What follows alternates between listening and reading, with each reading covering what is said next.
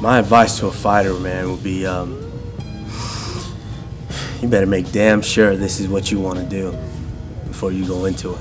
Because the one thing that doesn't wait for anybody is time.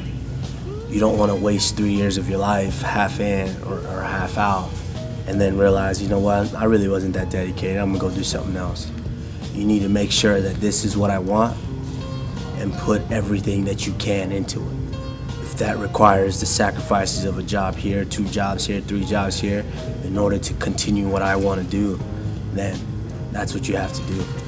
But you better make sure this is what you want, because you can't be half in and half out.